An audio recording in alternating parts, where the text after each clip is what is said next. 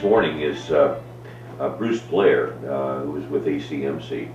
And um, welcome, Bruce. How you doing? I'm doing fine, Good. Um, you are a speech therapist, yes.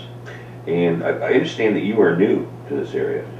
Yeah, I actually moved away, f- I grew up in Madison, graduated from Madison High School. Hmm. That was a while ago. Mm-hmm. And my wife and I moved away. We lived in uh, northwest Ohio. Okay. We lived in Michigan. For the last 14 years, I lived in Kingston, New York, which is Hudson Valley. Yeah. I worked in a hospital there in Poughkeepsie. Yeah.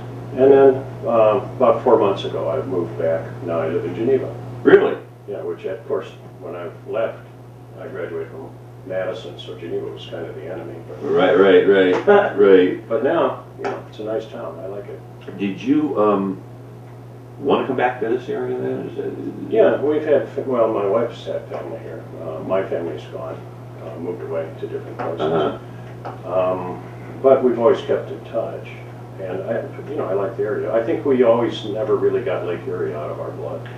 You know, that happens. It happens with me too. I mean, I've had opportunities to move on, and it was like, I don't know, you know, I, I love it here. I love this area. I like the rural environment that we have, and uh, of course, my family, some of my family's still here, so you kind of need to move away.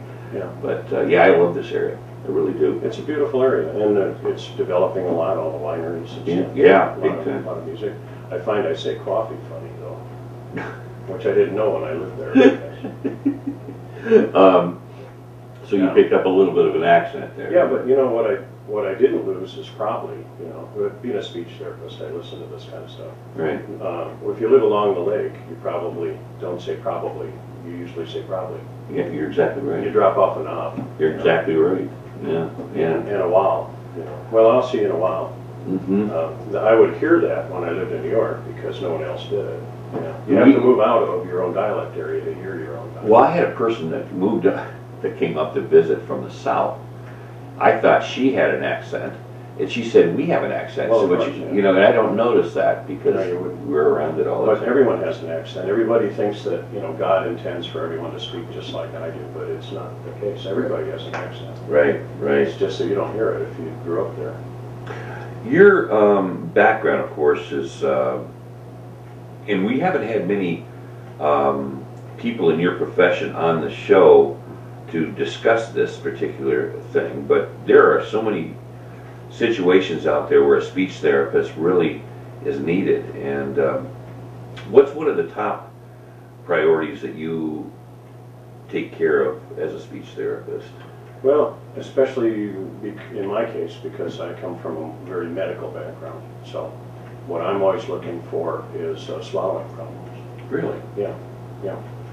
Speech therapist, that's the first thing I do when I walk into somebody's hospital room, though. I say, hi, I'm Bruce, I'm a speech therapist. Um, speech therapists deal with speech and language problems, but we also treat swallowing problems, because they say, I don't, there's nothing wrong with my speech. Well, that's not what we're worried about. The doctor is concerned that when they're eating, they're coughing, things are going down the wrong pipe. Mhm. It is the wrong pipe, because it goes to your lungs. And you don't want to get food and liquid in your lungs, Right. because your lungs are warm, moist, and dark. Mhm. That's the perfect breeding ground for bacteria. So if you've had a stroke, or if you have Parkinson's, very common with Parkinson's, um, any kind of neurological thing, uh, multiple sclerosis, or just, you know, you, you really don't feel well, you know, because it's a complicated system. So if it's going down a little bit wrong, a little bit slow, a little bit weak, it could go into the wrong pipe, and if it builds up there, it could cause what's called aspiration pneumonia because it's going to be food in your lungs, and that's. How do you treat that, Bruce? Well, if you, if it's too late and you already have it, then you have to, essentially, you're hospitalized until your immune system can eat the food and take it out through your bloodstream. Um, the best thing to do is though is be preventative. If you're eating, and every time you eat, you have a tendency to do a lot of throat clearing and coughing, then you're having close calls. You're almost putting stuff into your airway. You are putting stuff in your airway. So what we would do is try and, a speech therapist would try and figure out how can we have it go down maybe a little slower. You know, I'm, I'm routinely telling my patients, you can't eat and drink like an American, you know? It's way too fast, too much too fast. And uh, I try and train them to do that. I'm very, very much into education. I pull out anatomical drawings and I say, here's how it works, because you can't see it Right. and you don't realize how complicated it is. I showed my anatomical drawings, I carry them around with me, I give them to my students, because I'm a firm believer in education when it comes to medical stuff. Right. You're talking to somebody and it's some bizarre thing that you can't see, how, what, how do they know what's going on? Right. So you're not gonna get compliance. You know, I, I've noticed this in uh, some people. Now, when I, I'm a very slow eater, um, because I don't like the feeling of being over, overly full. Mhm. But I've been out with people that devour their plate. I don't know how they do it. I mean, it, it almost seems unhealthy. How can you like not breathe?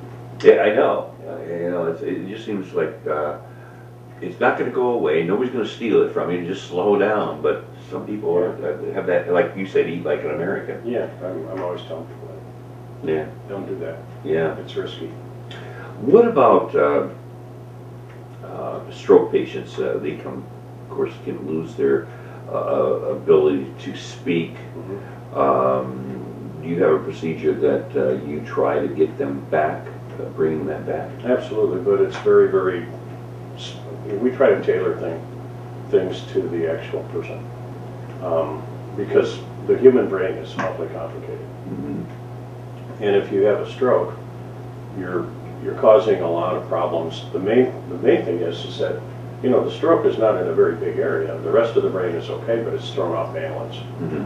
So if you can figure out, first of all, you need to figure out, does this person understand me? Because maybe they do and maybe they don't. Right. And sometimes a person could not understand language at all, but still look like they do because they're reading your nonverbal communication, they're looking at where you look. You know, if you walk someone up to a table and there's a chair there and you say, sit down, and they sit down, that doesn't necessarily mean they understood the words. Because what do you do when you come up to a chair? You sit down. Mhm. So you first establish that. What do they understand? And then secondly, what can they actually say?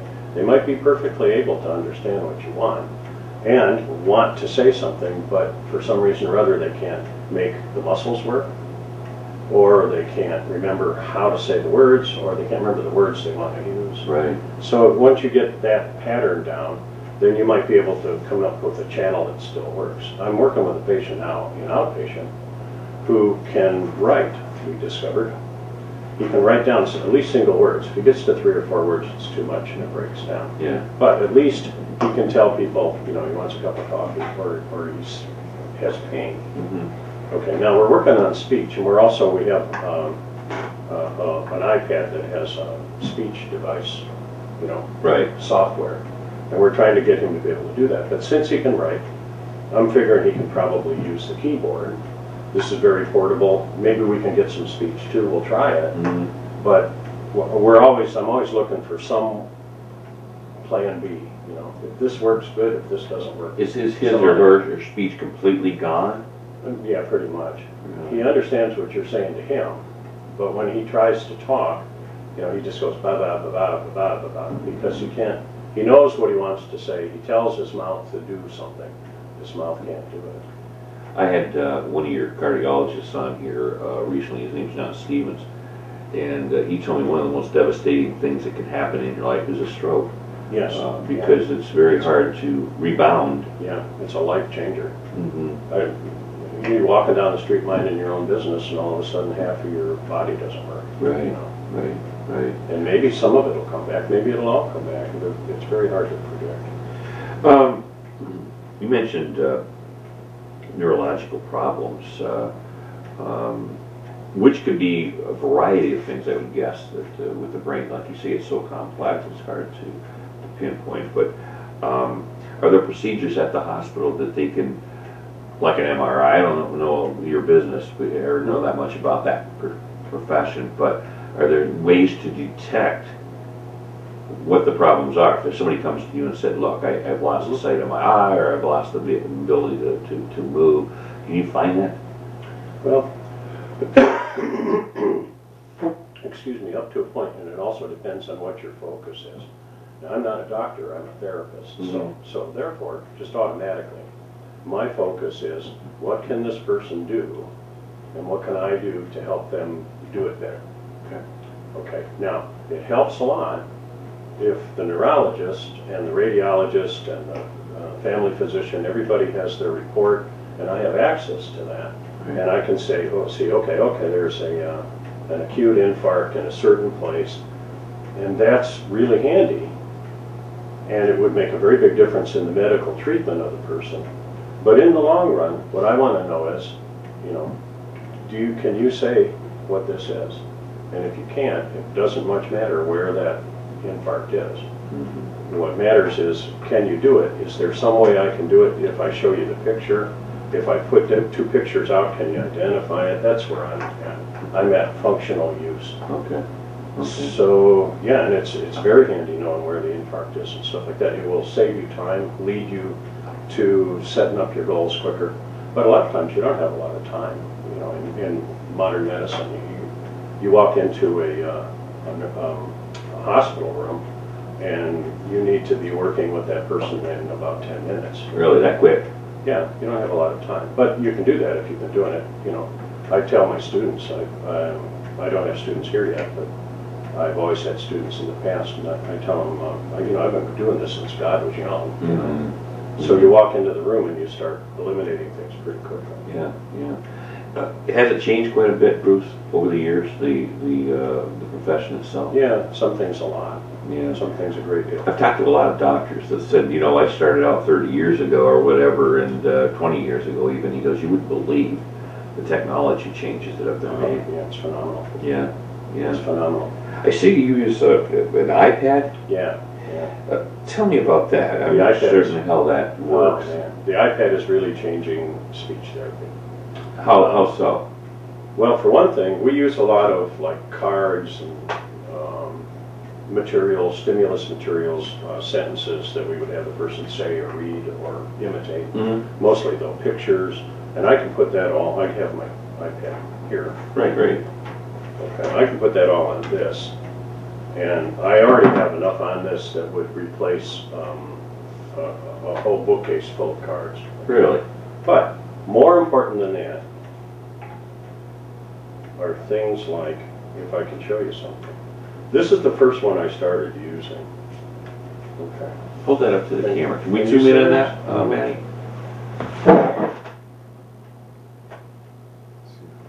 See, I am not a great uh, computer person. But I have a, a mom, my mom is big and, and she has an iPad, she, she swears by it. Oh, That's, it's wonderful. Yeah. It's, it's really handy. now that's showing, Oh, yeah, okay, that's it. All right, now this is really a toy, but what I do that- with this is, I found it very, very useful when working with people with Parkinson's disease. People with Parkinson's disease, there are three major things for the person with Parkinson's. Their speech is very rapid. They hardly move their articulators, their tongue and lips at all, so they're talking real fast, they're talking like this. wow. And their speech is very quiet because they don't breathe, okay? No breath control. So, if you can get this person to be louder, then neurologically, you're gonna deliver more electricity to your lips and jaw. So, here you are working with this person, you give them a sentence to say, and you say, okay, take a deeper breath. Okay, say it slower, slow it down, move your tongue more. Oh, be louder. Well, you don't have to do that, all you have to do is say, say loud. But that's a subjective thing, isn't it? You weren't loud enough. Oh, yeah, right, they don't believe that. Well, not with this, because if they're real quiet, it goes real low, a lot of ambient noise. But if they're loud enough, I'll put this halfway between us and I'll say, okay, am I speaking in a pretty normal voice right now? And they'll say, yeah, yeah, that's about right. Okay, well, right now, that's about, that's hitting about 80.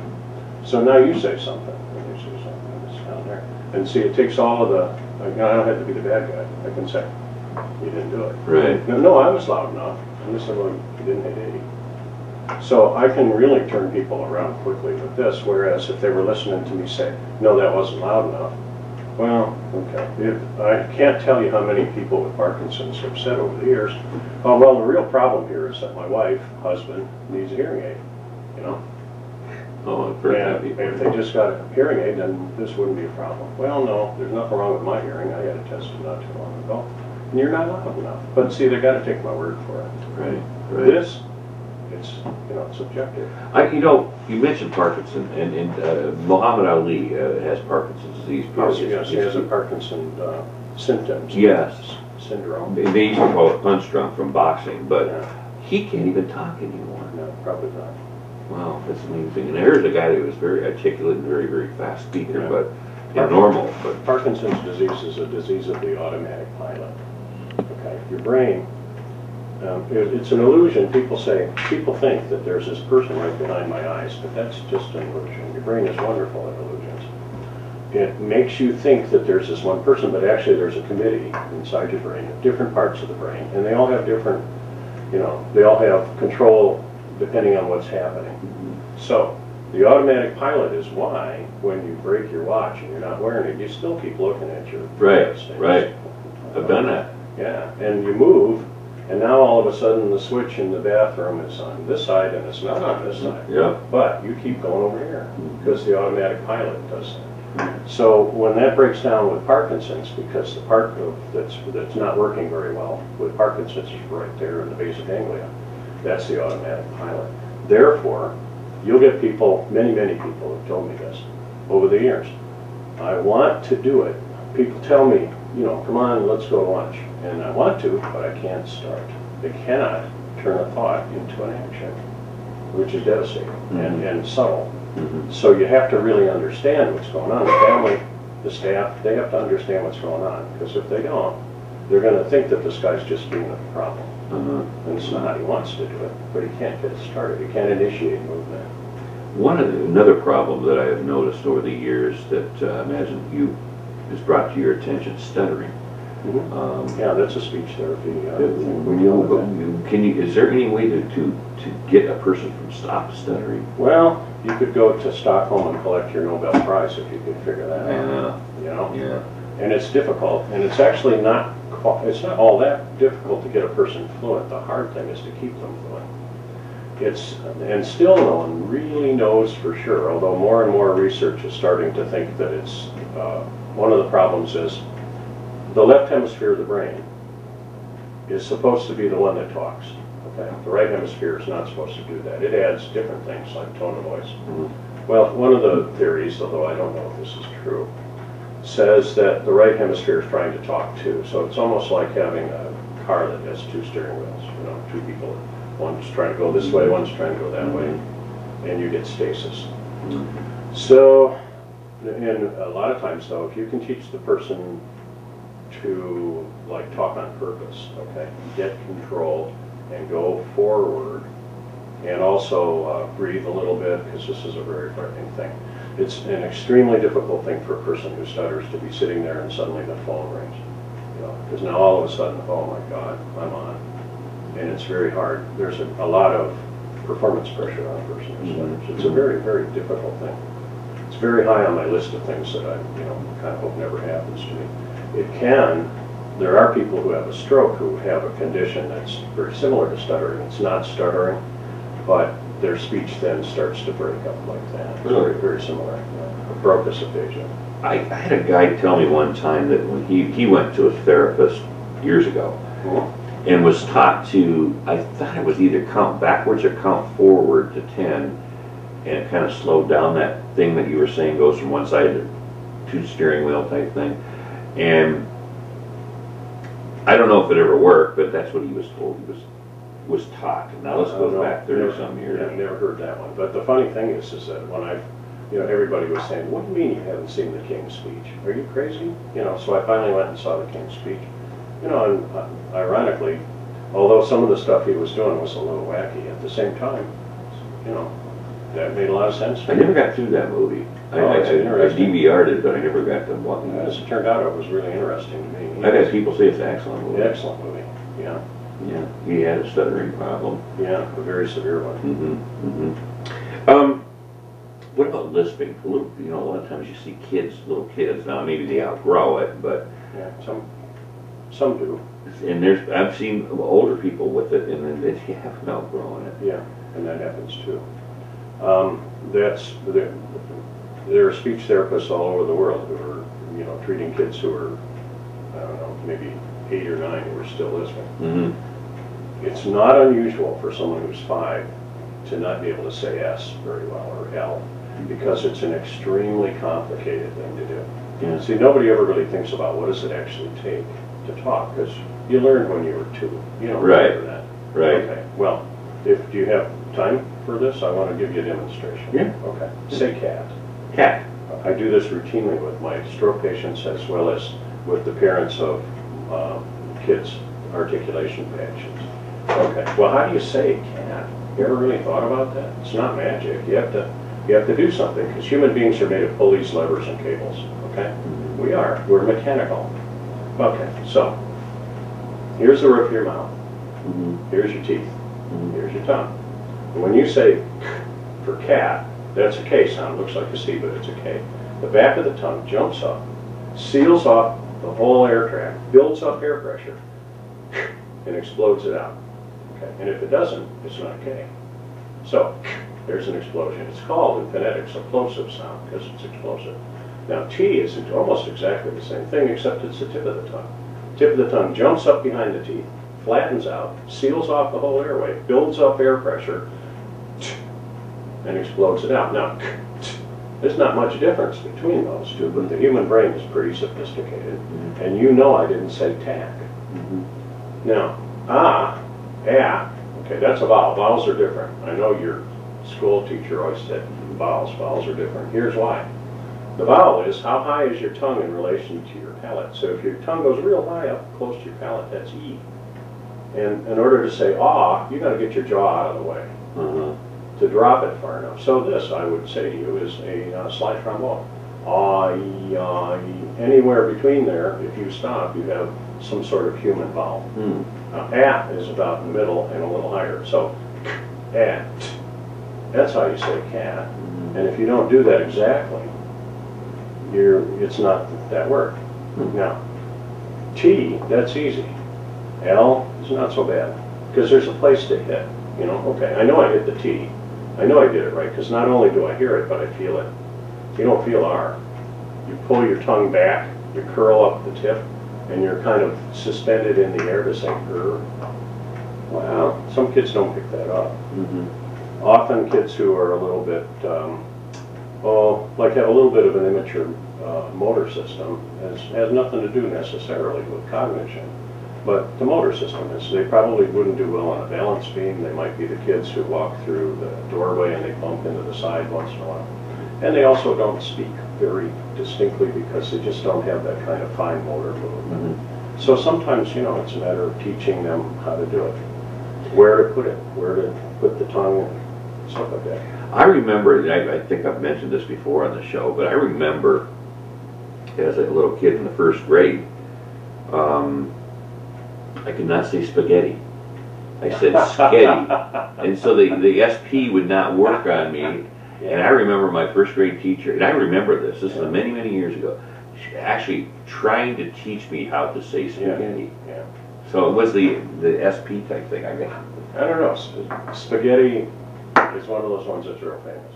Yeah. Is it really? Oh yeah, everybody, very few people, for some reason, they're always, if you went out randomly, picked twenty people off the street, there's gonna be a couple of them say spaghetti. Is that right? Yeah, I- Bis- biscotti is what they're gonna say. Yeah, yeah, yeah, And yeah. think about it, okay, it's, a but, see, they have to take it off automatic pilot. Think about, okay, how do I actually say this? Spaghetti, and then they can say it. But a lot of what I do in, in s- swallowing and speech, language, is take the body off of automatic pilot, put it in manual override, and do it on purpose and do it right. And then do that enough so that that becomes the new automatic pilot. My, my mentor, Mike Rastetter in college, uh, was my uh, thesis advisor also. He said, the way you learn, here's how the brain works. You're walking through the woods and you come onto a meadow, and you walk across that meadow one time, no one would ever know you were there. But you walk that pathway five times, there's a very faint pathway. Now you walk that pathway 5,000 times, there's a distinct pathway. That's how the brain works.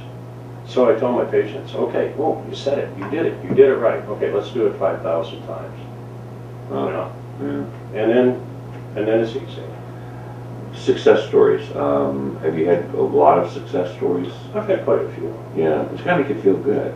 It's, yeah, it's why people get into this kind of business, I think. Yeah, You don't do it for the money. I mean, I'm comfortable, but yeah, you don't do it for the money. Right. Go to accounting or something like that, right. or law, but not this. It's a very good feeling to see somebody do something they couldn't do before. Yeah. Do you, I have a sense that you probably are the type of person that is a good coach, that, that uh, give them hope and, and uh, a chance to um, better themselves by repeating and going over and over again the, the process. Uh, It's probably, to me, it would be frustrating because I, you know, I, I don't like to repeat things over and over again, but uh, I imagine in this case, you have to do that. Yes, you do. Yeah, you do, because it's the only way to do it. Patience. Yes. Yeah, well, no, that's a funny thing that you bring that up, because people say, gee, you must really be a patient person, but I'm really not a very patient Mhm, person at all. I'm not either.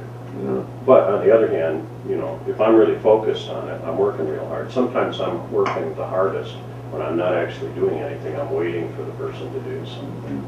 And, and I really, you know, and you don't want to jump in and do something for them, because that's not therapy. Right, right. But if you're too patient, then your patients never get better, you know. Mhm, So I, because I push people, you know, I mean, make them work. mhm. But a lot of times, the, what really helps, I think, get the patient focused and start working is, you know, to know, for one thing, other people have gone through this too. You know, because especially in the hospital, you, you work with a person for a little while and you can tell them, here's what's going on. And oh, by the way, this has a name, you know, because it's the old thing about if you have a name for the dragon, it's not quite so scary. Mhm. Well, you know, people have done this before. It's called apraxia. This is the problem. Other people have had it. You know, we'll work on it and we'll see if we can make it better. Um, just knowing that they're not the first person who's gone through all this Right. sometimes is really helpful. So obviously, you, not being a doctor, doctors refer patients to you, Yes. right? Yeah. That's how that works. Yep. And uh, being rather, rather new here, um, have you been pretty busy? The, we're building the caseload back up rapidly. Yeah. Yeah. 'cause Are you the only one that does this? I'm the only outpatient therapist. There is another person, Renee, uh, does outpatient, or not outpatient, but home health. Okay. And we both work at the hospital, so you could run it into Renee there. Okay. We both do uh, modified barium swallows also. That's a, that's an interesting. What's that now? modified barium swallow is a joint procedure where the speech therapist and the radiologist do this together in the radiology suite in fluoroscopy. Okay. So essentially what we do is we bring the patient in, we can do this outpatient as well as inpatient. We bring the patient into the, into the fluoroscopy suite. And then we feed them food that has um, a little bit of barium mixed in with it. Now barium stops x-rays, so the x-ray gets stopped and then you can see it. If we gave you applesauce that had nothing in it, we would see the movement of the muscles, but we wouldn't see anything else Okay. we wouldn't see the food. Well, this way we can see where it goes. You can see the actual food as it goes down, whether it goes in the right pipe or the wrong pipe. And then we can say, okay, well, I'll tell you what, let's do a smaller one, let's do something thicker, slow it down, you can, you can adjust things. And end up with a way that this person can eat or drink and not have a problem. Um, I always tell my patients, you can, you'll be able to tell people you had your head examined, see, because we can, we can see right through it and see the food. Um, But, and it's, by the way, there's, we have a very good radiology department here. I'm, I'm very impressed with them. They, they work really well. Good. So. I'm, I'm pleased to do that, because it's a little out of our territory. in- Right. In terms of, you know, the radiology department, we're Uh-huh. going into their world in order to do this procedure. Right. So, But I've, uh, they've been very nice. Good, good. You, you hear about this a lot, Bruce, um, especially with singers. And, uh, that's the nodules you get on the, Oh, your yeah. throat. Yeah. Um, is that from straining? Is that from singing too hard or too? Often. Really? Often, breathing badly. Um, The, the thing about not, yeah, you're talking about vocal nodules. Yeah. That's the most common voice problem. Um, If you, if you work hard, you, I play guitar, so I've got calluses on my fingertips. Well, if you do the vocal cords wrong, and you're really slamming them, those, they're little tiny things, little tiny Really? muscles, and you're slamming them together, you're gonna get calluses. Uh-huh, That's what vocal nodules are okay. calluses on the vocal cord. Is that what, that- and That's there is that? exactly what it is. Now, the- problem is, now, I know people who are like, they're, they're very relaxed and they're very dramatic and, you know, and they can yell and screech and do all kinds of stuff. Right. They will never have problems with it. Other people, though, um, are, tend to be kind of controlled anyway and tight, and they're not really breathing very well in the first place. Mhm. And if they're singers and they're not warming up, they're asking for trouble. Really? But the, probably the most common person that you end up seeing in a voice, uh, as a voice patient is a teacher. Really? Yeah, yeah, and that's devastating to teaching because you could like, you know, Is that because they talk all day long? all day long, and if you're not breathing, okay, if you need to be loud and you are a tighter controlled person, Uh-huh. okay, then a lot of times what people do will do, they'll crunch down the vocal cords and they'll push it out, okay, to be louder. When what you really need to do is you need to take a deep breath and lift it out and be loud like that, okay? Okay. But, um, but I'm a singer, you know, and a speech therapist. It would be very embarrassing for me to show up for speech therapy because I had nodules. I mean, let's face it. I gotta ask you this, I'm a. I'm a guitar player too, but I haven't played for a while because I've, I've, I've lost the calluses and I'll tell you, it hurts. It hurts, It hurts. But, uh, so what do you play, acoustic or electric? yeah. Acoustic, Yeah, I play acoustic guitar. That's how I A little bit of everything. Yeah. Uh, I'm a singer who plays the guitar, but I've Yeah. been doing it for a long time. so Yeah, me too. It's, uh, I love to sing. yeah, I, I do too, I'm not that good at it, but I, I enjoy messing around with it. Well, I give a lot of free advice when people at the open mic find out I'm a speech. But, you know, I sit there and I'll cringe when I see somebody who's like, you know, straining for that high note and Yeah, stuff like that. yeah. I'm thinking, well, I'm gonna see this person professionally. Yeah, They do this a lot. Good. But if, if- you're a, a singer, uh, in New York, we used to, you know, run into the occasional professional singer, you know. Um, If they develop calluses because they're not, you know, using the machine right, this is a, a very complicated musical instrument. Mhm. And if they're not doing it right, then you're gonna be laying people off. They're a small business, you know. Mhm. There is a speech therapist in New York City who teaches punk singers how to scream. Right, yeah, and how to do it so that they're doing the least amount of damage, because they have to scream. Yeah, That's what their fans are expecting. well, there's, there's a difference between singers and screamers, and there's, Yeah. there- and most, a lot of rock singers are really screamers, Yeah. not singers. Yeah, Um, and it's, it's expected of you, so you have to learn how to do it so you're doing the least amount of damage. Okay. I And they can do that. Didn't realize that they have specials. Yeah, Absolutely, you can do that. Um, you know, you've probably heard of Rachael Ray, the Yeah. cooking girl, Yes, right? exactly. About three or four years ago, I was, used to watch Rachael Ray when she first started out, and I, and I noticed that uh, her voice was getting kind of gravelly. Mhm. And apparently she was having these nodule problems and had to have surgery on them. I think she's okay now, but Yeah.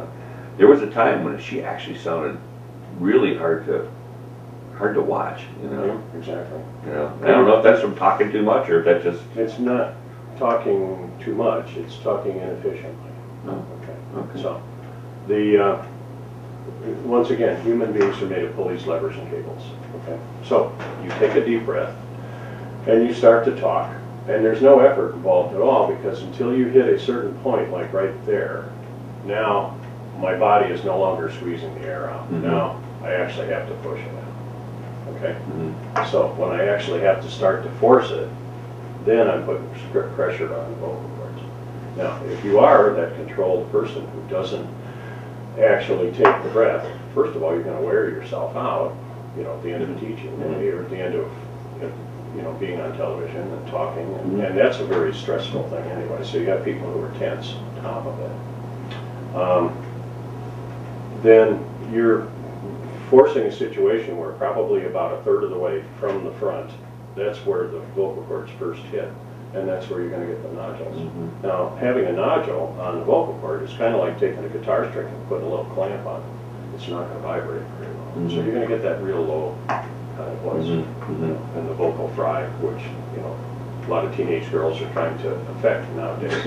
Yeah, yeah, Get that guy out, get that Mhm, in your voice, but that's, you know, you can get away with it if you do it a little bit, but if you were, if you, if you're Rachael Ray, you're gonna have trouble if you're not, if you're not breathing. It's a common thing, I teach a lot of people how to breathe. You know, here's another case. I don't mean to bring up names, but, he's a well-known celebrity in mm-hmm. Cleveland. His name's Dick Goddard. He's a weatherman. Oh, sure, yeah. And you Dick probably- Goddard was Weatherman Tail Eight, I think, wasn't He, he still is. it? Yeah, when, when I left.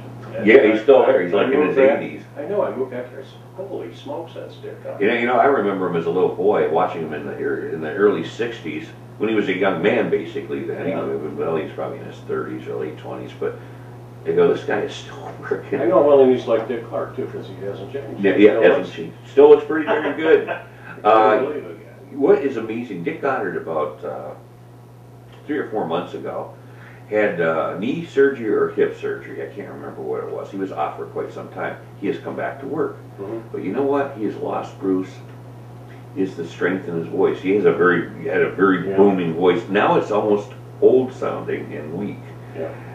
Could surgery do that, or is it did it take its toll on him? I mean, he he probably, of course, I'm guessing, because. I know. Yeah. I'm doing, you know, diagnosis. Yeah. From a distance. you know. Right. But it's actually not that unusual. I have a patient now who, uh, until she had hip surgery, it wasn't so bad, you know. hmm And it's not, she has had a lot of pain.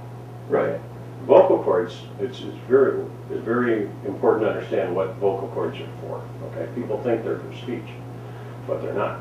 No. No, that's way down the line. Number one, vocal cords are for choking and protecting your airway, okay? Mm-hmm. Okay. That's, the- that's number one. Number two, though, is leverage, okay? Your, your chest is hinged. And if you want to pick up something heavy, you have to stop your chest from collapsing. So, you know, I try to lift, you know, and I close my vocal cords, so I have leverage. Uh, I'm trying to paint this patch over here, and I'm leaning way over. uh, right. And so my vocal cords give me leverage, so my chest doesn't collapse. Okay. You watch a person with a tracheostomy, Right. who cannot hold their breath. They can stop breathing, but they can't hold the breath because the trach tube is down lower than the vocal cords. They have a hard time lifting things. Mhm. Now, um, if you're under, in a lot of pain or for some reason everything is difficult to move, then you could put yourself into a, a situation where you could get Really. Really. Yeah. Um, Or just inefficient voice use. mhm. And then you become used to doing it that way, and then you have to kind of break the habit and go back to the way you used to do it. I know it's kind of funny about guys my age and girl, girls my age. Uh, um, a lot of times when you get up out of a chair, and of course you sit here for three hours every morning, and Yeah. uh, you know, you're, you, you, you, that is automatic. And even though I don't want to do that, it just comes out. Right. That, You know. Right. Yeah, that's that leverage thing. Yeah. Yeah. And it's more important physiologically, you know, it's more important than speech. So it will happen first. It's, Wow. you know, protective reflexes. If, if something flies at your face, you go, ah, then you can't talk, hmm okay, because you're busy doing something to protect you. Right. Right. That's how the brain is wired.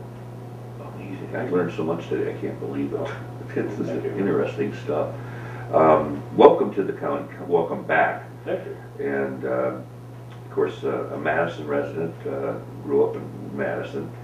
And uh, we used to have, I don't know if we still do it anymore, but we, our Conneaut football team and basketball team used to play Madison a lot. I don't know whether they still do anymore. They've got all kinds of changes in the leagues and I'm stuff. not really sure.